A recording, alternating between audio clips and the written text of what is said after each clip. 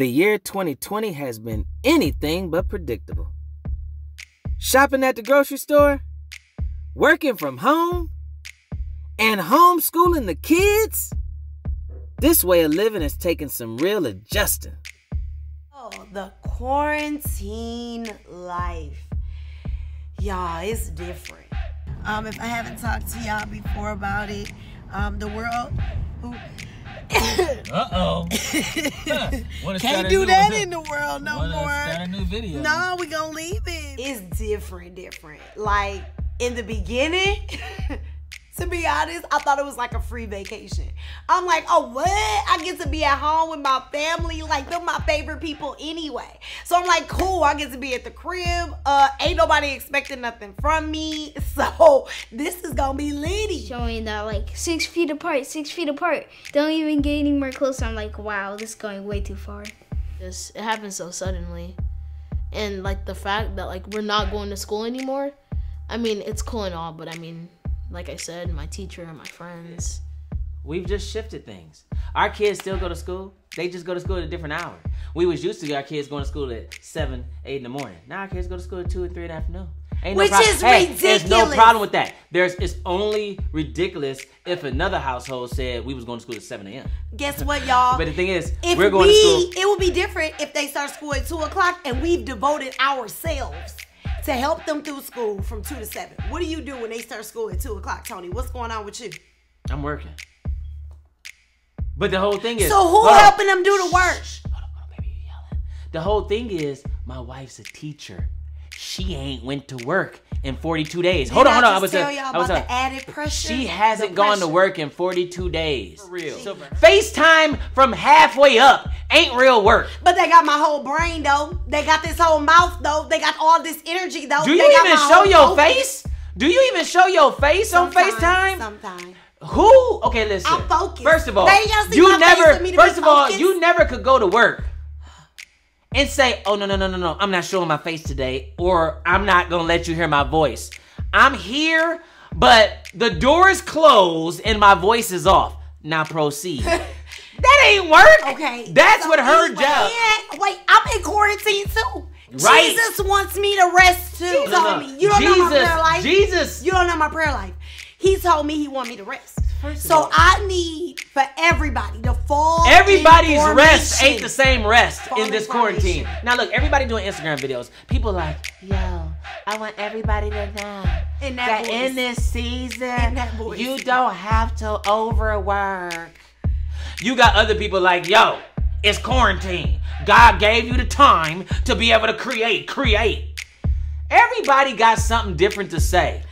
My thing is, between her, man, she got to teach these kids, man. Ain't nobody want to hear. Let me tell you, famous words of a janitor that my wife knows. He said, What make you think your hand's so good that you can't get that trash? She said, Because I went to school to be a teacher. He said, I don't give a so, to put that in our life, I didn't go to school to be no damn teacher. She did. I'm she did. School said, What did Jesus tell you? my God. Jesus. What's your portion in this season?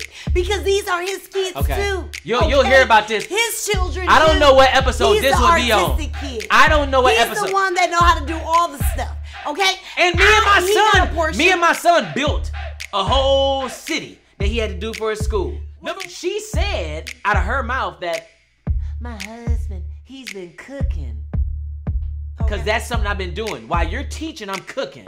Also, I'm not done. Hold on, I'm not done. I'm not Do it done. take the whole I'm not done. cook? Hold on. Do it oh, take the whole When I'm done cook? cooking, I'm smashing. I'm smashing. Hey, quarantine bodies is real deal.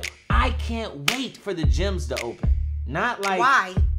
What you about to do? Who? Play basketball? Oh, okay. Because you ain't that? working out. I'm saying you like I can't wait for the gym. Is you you can't wait for the basketball court to open so you. That's working out. basketball. Basketball is one of the He don't work out ba- at all. Not even shit. Look, what are you saying? Basketball. First of all, look at my body.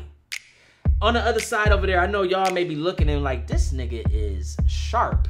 Nobody said like my body structure is sharp. I know that's right. Um, over the last couple years, I probably gained. Calm down, because if you stand up everybody would know you have a church body on the lower half. Okay, and that's You what- have a dancer body on top, church body on You the bottom. You don't bottom. want me to stand up. You're not gonna he don't stand want up. you to- Man, I have gotten so many challenges. They like Naylor, Naylor.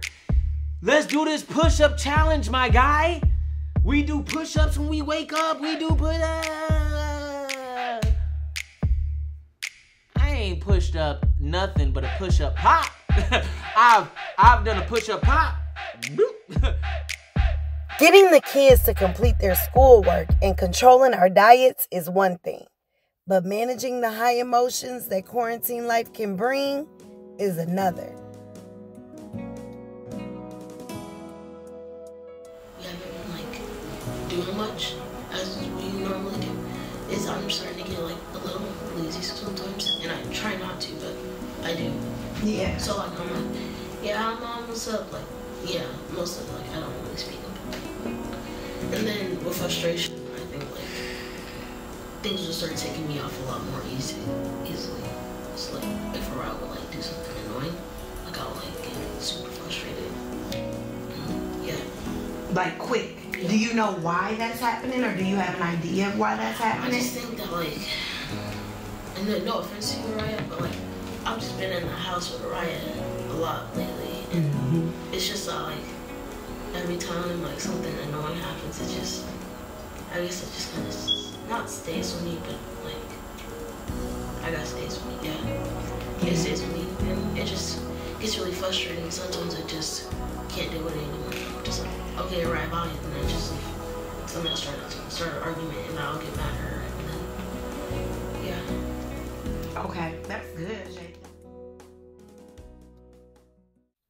Though we've tried to make the best of this time together, we've also had to discuss some harsh realities. It's opportunities to show how much you've grown. Absolutely. That's literally it. It- So me and mom have gotten pulled over by police. I've gotten into conversations, situations with white people, black people. It don't matter. Eh, But uh, in all those situations, I operate with no chip, and I always operate in expectancy of that person, even if they were racist or even if they were this or that. I'm expecting for God to be able to come into the situation. So the thing is, You- I, I expect for everybody to operate in, in, in God's way, but you gotta use wisdom. but you got to use your wisdom. And my expectancy for people to be good does not mean because when I'm expecting somebody to be good, you know what that does for me though. When I expect somebody to be good, I approach them with good energy. Yep. Mm-hmm. When you see, but if you're doubting people to be bad people, then you're also approaching them with shady energy. Yeah. So they don't they don't know you. Yeah. But you're walking up to them like, nigga, I don't trust you. So why should the other Everybody person be on, on the, the other side of that? defense. They on the defense. So I approach the situation like you should be one of God's people because I be trusting that even though the enemy is out here trying to slide in these situations, I believe that God is approaching me at all times. even if you are innocent in any type of situation, there's always going to be one person like, oh, he definitely did something bad. And in Jesus' standpoint, he, uh, quote unquote, or other people said, quote unquote, he is saying is blasphemy because he's saying that he is God's son, right? So what I'm trying to make a connection here is that when they when they had a choice to let him go, crucify no crucify Jesus or crucify the, the murderer, right? They said Jesus, just because he was blasphemous, he is a cold-blooded killer, right? It doesn't matter. But Jesus still took it like a G, right? In black people's standpoint, he was an innocent bystander, just walking, no, jogging, right? They automatically thought he did something wrong because he was by a person, but not even a constructed house. He was just, he came out of a building and he went jogging. So they're automatically thinking, hmm, he must have stole something out of that house and now he's jogging, trying to get away back to his house, right? In my opinion, I don't I don't care if the white person is still alive. I actually want the black people to actually have a chance to live. Even if even if the people are still are, are still convicted of doing burglary or anything, I still think the black person needs a chance.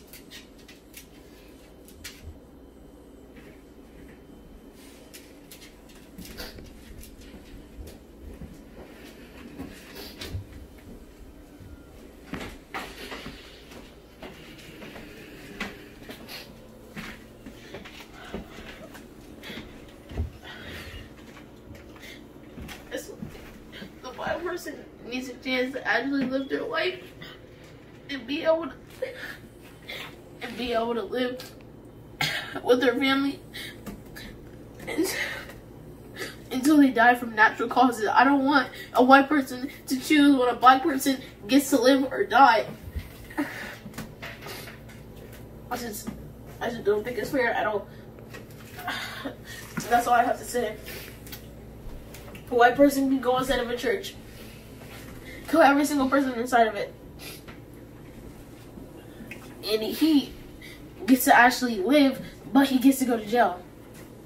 A blind person doesn't even get the chance to speak in the situation. He automatically is convicted of some type of crime. And I just think white people need to learn that not all black people are bad. It's like they automatically think they did something wrong. It's just like it's just not fair, man.